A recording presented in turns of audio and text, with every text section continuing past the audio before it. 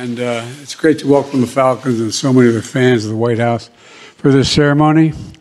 It includes our second gentleman, Doug, and the chairman of the Joint Chiefs of Staff, General Mark Milley.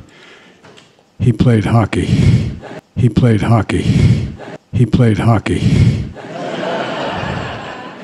and you wouldn't want to screw around with me if you had your uniform on, I don't think. But uh, I'd also like to. How's that funny?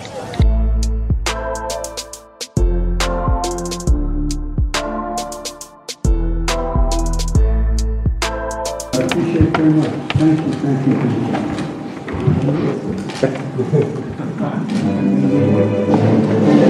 Well,